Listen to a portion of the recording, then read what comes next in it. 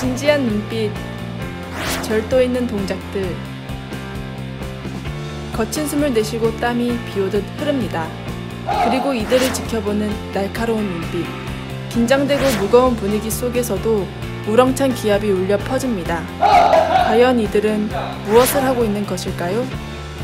지난달 30일 무카스 본산의 태권도장 무토 도장에서 열린 제1회 무카스 마스터 클래스 수강생입니다.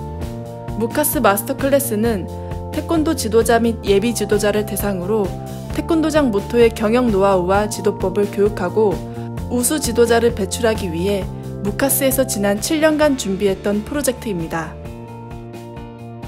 지난 4월 6일부터 6월 29일까지 약 3달 동안 진행된 이번 연수는 예비 관장과 사범을 중심으로 실무에 필요한 다양한 교육이 이루어졌습니다. 석 달 동안 너무 힘들었죠. 그죠?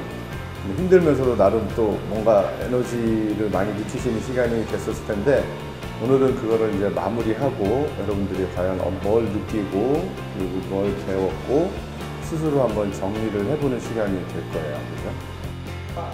이날 수료식에 앞서 그동안 이뤄진 교육 이수 검증을 위한 사업계획과 상담, 영상 발표 및 호신술, 실전기 품새 등 실기 테스트 등이 이어졌습니다. 잘 안다고 생각했는데 그 지역에서. 내가 거기서 몇 년이나 애들 알고 그 동네도 내가 다 안다고 생각해. 그래서 어떻게 보면 우리가 안다고 생각하는 게 제일 위험한 거예요. 이렇게 그걸 딱 보면은 감이 딱 와요. 누가? 선수들은. 또한 이번 연수는 단순 일회성이 아닌 무카스의 지속적인 교육 프로그램 참여 기회와 다양한 추가 혜택을 제공한다고 하는데요. 새로운 프로그램을 이렇게 배우면서 좀 많이 알아갔다는 점, 새로운 뭐 많이 접하지 못했던 실전이라든지 뭐 이런 걸 배울 수 있어서 그런 부분에서 좀 많이 보람이 있고 도장 경영뿐만 아니라 실무적인 것부터 운영 노하우까지 모든 것을 배울 수 있으니까 너무 좋았고 저에게는 정말 큰 도전이었고 너무 큰 배움이었습니다.